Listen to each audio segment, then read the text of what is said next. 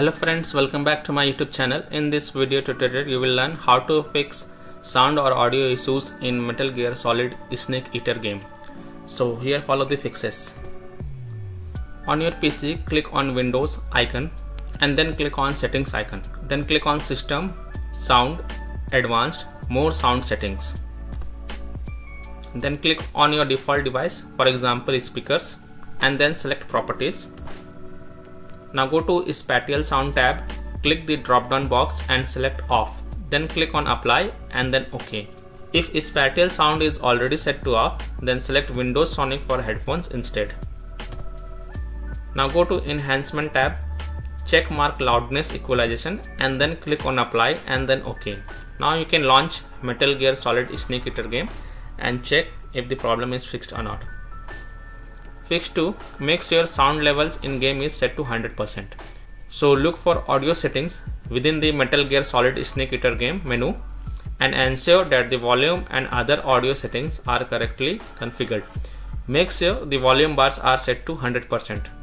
Additionally, if you are using headphones, you may like to try using speakers to see if any sounds play.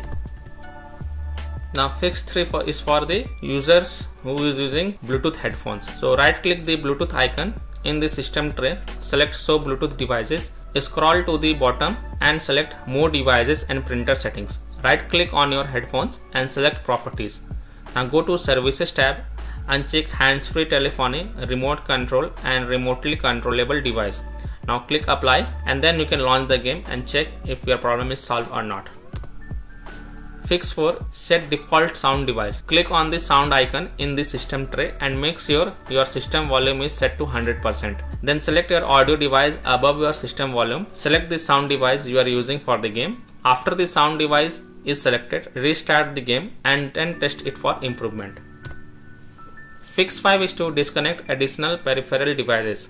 Your sound settings can be altered by additional peripherals, so disconnect any peripheral devices that are not necessary, such as USB devices, camera, phone, additional controller, mouse, keyboard, etc. And then you can check if this fixes the issue or not. So by this way you can fix the sound or audio issues in Metal Gear Solid Snake Eater game.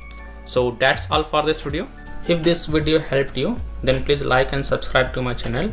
Share this video and hit the bell icon to get the latest updates. Thank you.